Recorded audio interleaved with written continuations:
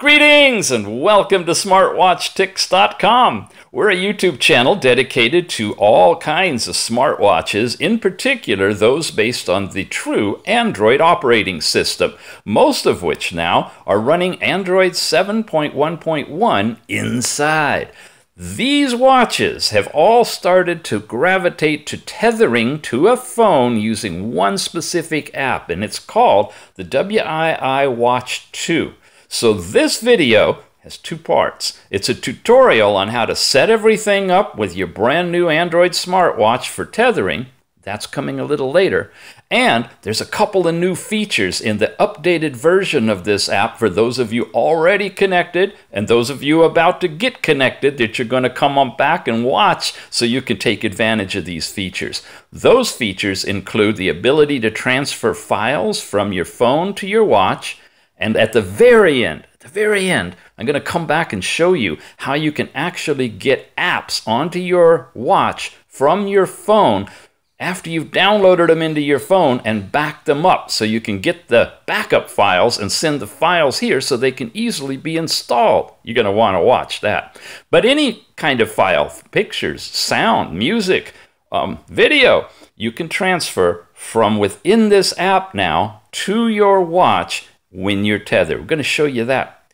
The other thing we want to show you is the ability to use the keyboard in your phone to put data in your watch. Oh man, this is great. It's been really hard with a big fat finger to type on a little teeny keyboard on your watch. Well, now you can type on your phone and using the Bluetooth tethering, send it into the text field of whatever you're trying to fill out on your uh, watch. We're going to show you that too right now.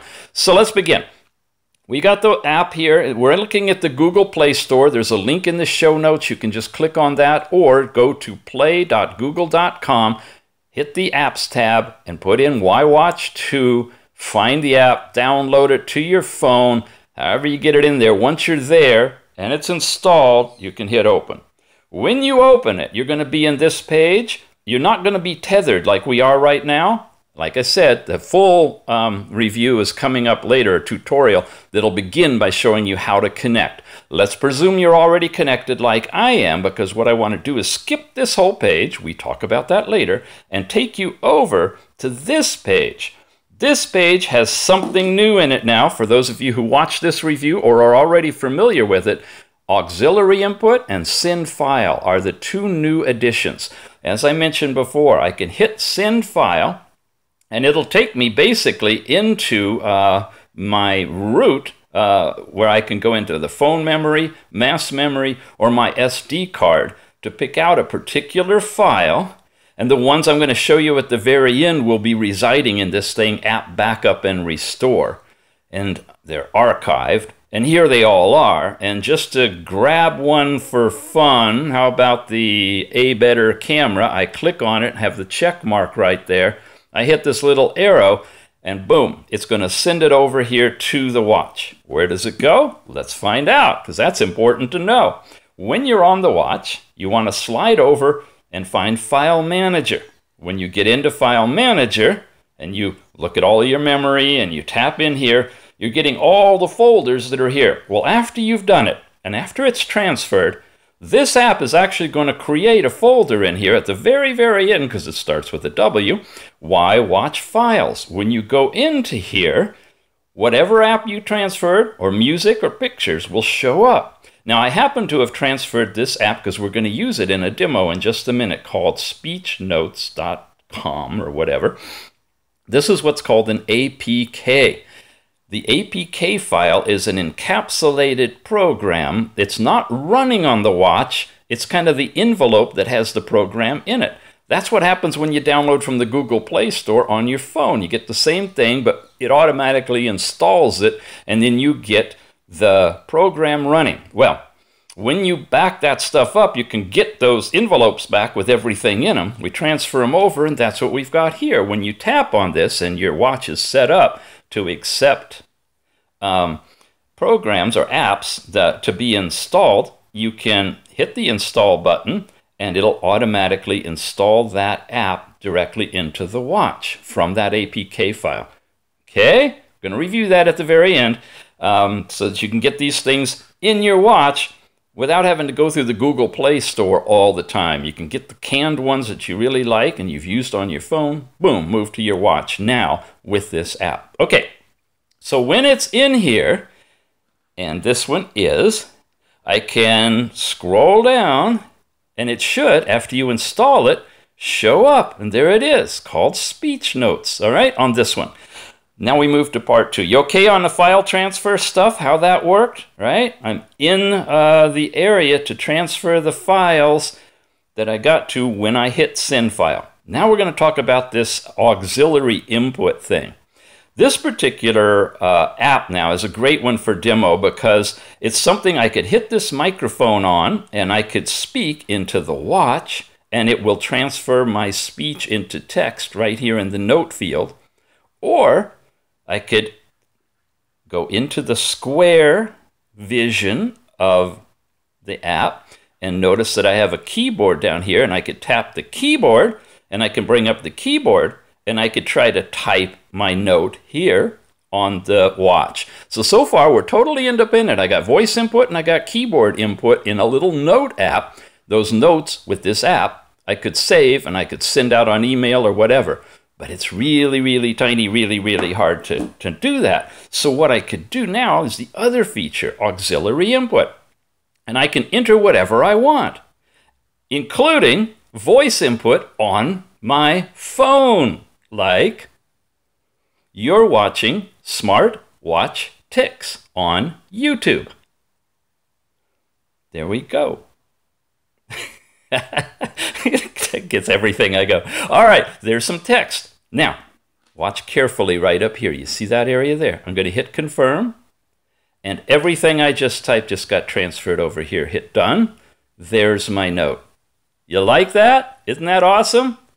Not only that, you can add to this if you want to. You can come back into the auxiliary input, cancel that.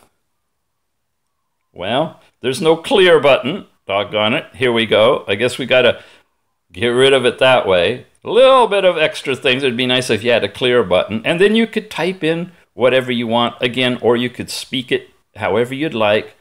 And when you hit, watch there, confirm, it gets added directly to the note that you're working on. Or the uh, input in your Google Play Store or the information you're putting into an email or a text message or any kind of text that you want, as long as you're in the field, you use that auxiliary input and it can uh, move that stuff over. So there you go. Two brand new features in this upgraded Y Watch 2 app the send file and the auxiliary input. Now, what about the overall function of this particular app and how you set it up with your particular watch? Well, here we go. This is the full tutorial. What we're going to do now is take a look at the tethering of this watch to its support app, which is called the WiiWatch 2. Now, this is really new technology as well. So we got a lot of new things going on here. It says that this app is going to replace the WiiWear and the WiiWatch, and that's all we've talked about on most of these Android uh, watches uh, for the tethering capabilities. And these are going to go away. So not only this one, but probably all the Android watches that have been using these apps before are going to migrate to this new WiiWatch 2. Well, I guess we should study it and see what it does. Bluetooth has been started. We need that. And you come open to this particular busy page. It's uh, actually this tab here. And if you slide it over, you're on that tab there. And this gives us some other information. We've got to look at all of that. But before we begin, we have to make sure that we're tethered, right? And that's where we hit connect. You see here, it's going to open up this window for looking for a QR code. And as we saw on the watch, in all of the apps, there's one called Assistant. So when you tap on Assistant and go to connect the phone, you get the QR code and you hunt for that thing, get it in focus, and there you are. Simple as that. Now it's waiting for a connection. Now I get this notice says please give WiiWatch 2 notification permission. Say okay. And that is down here. And it's got notification permission now. And now we're connected. I got 46%, it says. How does that match up? Come back to the watch face, down here, over here. Okay, looks about right, 46%. So we are paired, we're connected. It also has brought in my step count, which if I come up here, should show me the step count of 1661. And of course, the kilometers 1.2 and 71.3 kilojoules of, of um, energy. And 10 minutes was one of the um, events that I tried to record here earlier. It also is showing a heart rate last one of 54 beats per minute, and that's in the health section. When I tap it and I go in here, look at all of this. I've got the step count we just saw, the heart rate I just uh, showed you, and now all of the different activities. Here's running. Please check the watch data. Look at that. It put us into outdoor run. Here's walking. Boom. It switched us over to outdoor walking. Okay. Here's rope skipping. And now we're into that one. So dynamically, these things are linked together. And all of these different selections are available, you know, by scrolling this way or available through the app. Let's come back here out of health and by hitting that back tab and look at dials. I'm going to bring this up. Now remember when we were looking at the dials and we press and hold and we go all the way to the very end, there's that little plus sign and you can add them one by one. Well, here they are, the same ones. Oh, I like that one. I'm going to download that one. Look at that bounce. Look at it go. Now it's been downloaded on here. It's in the watch. Okay, now at this point I got to tell you, I've loaded this for Bear, and I got a whole bunch of my watch faces in there. Oh, good, good, good. I'm glad it bounced over to it because I'd have to scroll for like a hundred to get to it. There's the watch face, and it's just now been downloaded. These are all the Christmas ones, and then there's a bunch of other designs that are available. And of course, these are coming from a server. So as they add these uh, or update uh, and add more of them to the server, they'll show up in here over time. A lot of those Christmas ones were just added, Christmas of 2017, and these are a whole bunch of new ones now that are going in there. As we saw before, you got to wait a little bit for it to download, to get installed, to resequence them all, and to show it. And there it is. Wow, it must be right at the top of the hour. Is that true? Or do I only have one? No, I guess that's the hour hand and minute hand that are displayed on there. Interesting. Oh, what's that? Google location history. These are notifications that we uh, we have in here too when you go to the left. So you have all these watch faces and more. Oh yeah, that's a cool one. Look at that. Let's bring that one in. And many, many, many, many more. It's downloading, so we don't need to see that anymore. We can go ahead and show some of the other pages worth. There you go. Very cool. All right. And of course, press and hold lets me slide through them any which way you want and get all the way to the end where I could add them as well by tapping that plus and it should come back up here to the top of the list and start showing you all of the uh, the watch faces one by one. But this takes a lot, lot longer to do. Nice that you can do it directly from the app. And hey, folks, this is the new WiiWear Watch 2. And so all of this stuff is going to be available for all other Android watches that support the WiiWatch or the WiiWear app, as this is the new replacement. Yahoo! Okay, that's enough of that. Let's get out of here, back to where we were, and let's take it now to the next page. Over here, personal settings. You can set your goal uh, for your step count and I usually do 8,000, hoping I can get to 10. Music control can control either your default music player or Google Music, look at that, or QQ Music, that's totally new. Lookup device, I think that's, uh, yep, making it make noise so that you found your watch. That's to find my watch, the lookup device. Raise the screen to see the time if it's off, and you twist it, it should show you the time. Of course, I had it turned on on the watch that way, so maybe they're counteracting each other um, since you can set them both ways. Silent mode is the same thing as, you know, going in here over to here and turning that into silent mode or not. And then app notifications. This is where it gets creative. This is where you're going to specify which of the apps on your phone you want to uh, send notifications to your watch.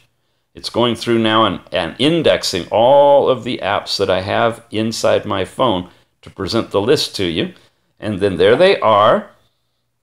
And they're all turned on by default. So if I don't want FlightAware, I just take a check mark off of it. If I do, I put it back on. There's doesn't appear to be one grand switch that you can turn them all off or all on. Uh, so by default, they're all on. And then if you get annoying notifications too often, here's how you would go through and, uh, and disable that or turn it off. Okay, app related, how to get support. Takes you into the round Android Watches Pro boards. Cool. This is the tech team that we are connected with here at Smartwatch Ticks. And oftentimes I give you an answer. If there's something too technical for a question that comes in, I say, go join the pro boards and ask the experts there. Yeah, that is cool. The app automatically directs you to the pro boards for the Round Android Watches uh, forum to get support. Feedback, where you can send feedback directly back to these guys. Software updates in Chinese now, I'm not sure if it's checking for the update to the uh, app in the phone. Oh, look, it says go to Google Play. Okay, and that's just taking us right back to where we were, and it's currently updated. So that's just a link back to the uh, Google Play Store, it looks like. But maybe if there's an offline one, uh, you could get the update there. And then overall instructions, which again is taking me into my browser and giving you information from Y W E I T E T E C H dot uh, C N. And, and this whole long link here. I'll copy this and put it in the show notes down below. You can go there directly if you want to. Um, and that'll give you access on your computer or tablet or whatever to this page and maybe more information as well. Oh, okay. So far, that's everything about this app. Wow, lots of cool things going on. This page shows you this stuff for your connection. This thing called Intelligent Watch. I didn't think that was clickable. It doesn't seem to be. Okay. The health section and your overall dial information. Pretty simple, huh? Great. Thanks for watching. And now, as I promised at the very beginning, I'm going to give you an idea of how you can get apps into your watch. Normally, you have to go through the Google Play Store to download them and get them installed.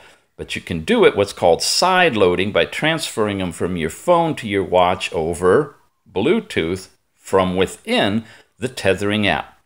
Here's what you need though are those backup files of the actual APKs of the uh, apps that you have installed on your uh, phone. What I do, and I think what a lot of people do, is they choose their favorite backup app. When you put in app backup in the Google Play Store, you get a bunch of them, and I've used them all. App backup and restore, this one with the arrow with the little Android is a nice one. Backup and Restore by itself is the one I've got in here on now. And then this older one, App Backup and Restore Easiest, blah, blah, blah, it looks like a folder. That one works as well. Um, but you can uh, pick your one, and this was the one I'm using. So I'm going to go in here right now, and it, it shows you a little bit of information about it because I'm in the Google Play Store, and I'm going to open it. Now, when you have the app open, and it gives you some ads, you're going to have a list of all the apps you have inside. If you click this check mark here, you can either back them up in this particular app directly to the uh, phone, in which case there's an update to this app itself that uh, it's going to back up. All these others are already archived. You just hit back up, and whatever's waiting will be backed up. Now, I'm guiding you through this quickly because you need to do this, and then it's going to have ads and it's going to do all of that stuff. And that's just part of it. When you've got it all archived, now we're actually ready to do the transfer. So the first step is put in a backup app in your phone and back up all of your apps, or at least the ones you can check mark which ones you want, at least the ones you're thinking of transferring over to your phone. By the way, you see this is how push notifications come through on the watch. This is actually um, an app that's running on the phone, sending a notification that it's running so it won't time out in the background. And that's how you clear your notifications. Okay, we covered this. Now we've got to get back into the WiiWatch app. I'm going to switch over to that. And let's see, there we go. Uh, I'm still connected to the watch. And I want to get over here to that file section. I can either do that or I can tap that. Same thing as going over here and go to the SYN files. Now, once again, to walk you through this, don't need to do anything, anything at all on the watch except have it on, all right? And I suggest that you set the timeout for a long time, maybe 30 minutes or something, and leave it on. If it times out, you might lose the connection. Um, either touch it occasionally so you make sure it stays alive or set the time temporarily uh, for a long time. You need to get to that backup folder that you created with your app backup uh, app and I just go into mass memory. Yours may be set to the SD card, in which case you'll find it there. But look for the folder that it creates. It's usually something like this, app backup and restore. It's going to have a bunch of stuff, and look for archive. That's where all your apps are. Notice I got several of them, like this One Radio News. Well, these are different versions, and that's what's so cool. Whenever there's been a, an update through Google to any of the apps I have installed, invisible to me in the background because I have it set up to do it automatically, it's okay. The app is also set up to automatically archive the new revision. So if one comes out that just throws a bunch of ads in, and I like the other one that was earlier, I can always go back and install the earlier one to my phone and get rid of the new update one and work from the backups. Another nice feature has nothing to do with tethering to the watch and transferring files, unless, for example, you send over one of these and it doesn't format nicely on the watch, you could try an earlier version until you find one that does. Easy Voice Recorder, one of the best recording apps you could use on your watch, is that way. The earlier ones laid out beautifully, and you even have a gain control you could slide on here to adjust the uh, volume level of what it's recording from whispers to rock bands and not have distortion and pick up everything. But then they buried that in a menu that you got to go into the square and it's harder to get to. So having an earlier version of some of the apps is really beneficial. You got them all. You got them all. Me, I love this one uh, OnePlus 6T. Look at how smooth that is. Unbelievable. You, if you want to move an app over here now, you just pick one. Some of these are network ones, so I don't want to move those. How about NPR? National Public Radio. I touch it, I get a check mark. I could put more than one if I want to. Uh, open camera, there's several of them. Let's take that one. So I've selected two.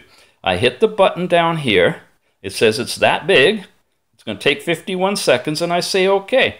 Now, one thing I don't like is I'm not getting a progress um, on here, so I don't know how long it's taking or how well it's going.